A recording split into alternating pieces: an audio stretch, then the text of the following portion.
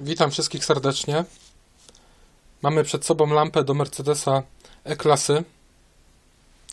Lampa jest lampą ksenonową i trafiła tutaj na ten stół, dlatego że słabo oświetla drogę. Jak to mówi właściciel, na początku myślał, że traci wzrok, ale okazało się, że wzrok jest dobry, bo jak wsiadł do samochodu żony, okazało się, że widzi doskonale. W swoim aucie niestety nie. Przyczyna tego słabego światła kryje się wewnątrz w lampie. Tam, za tą soczewką. Lampa widać, że jest zniszczona. Klosz jest szary, nie jest przejrzysty, jest lekko matowy, co również wpływa na, na jakość światła, e, no ale przede wszystkim też na estetykę auta.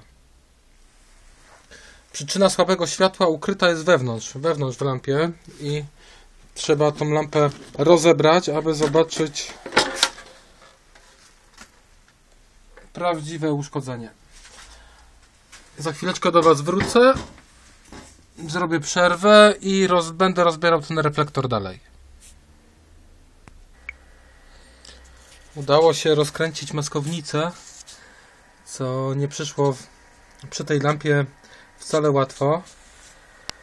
Teraz w delikatny sposób zdejmujemy ją z soczewki. Ja już tutaj to wszystko pościągałem. I co tutaj mamy dalej?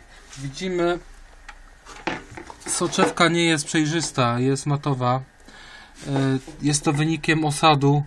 E, Wystarczy tą soczewkę teraz dokładnie wymyć i będzie ostra i przejrzysta.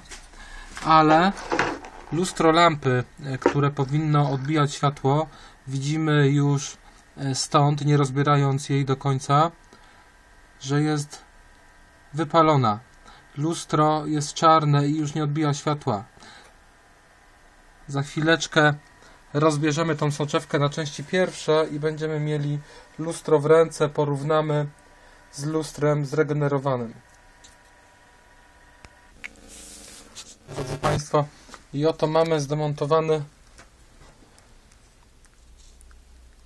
element reflektora, lustro soczewki. I tutaj widzimy, dlaczego ta lampa nie odbijała światła, dlaczego jazda była utrudniona, mało komfortowa. Ba, mało tego, zagrażało to niebezpieczeństwu nam samym, jak i e, innym użytkownikom drogi, bo jak zauważyć teraz nieoświetlonego pieszego lub rowerzystę. Będziemy teraz te lustro wymieniać na zregenerowane.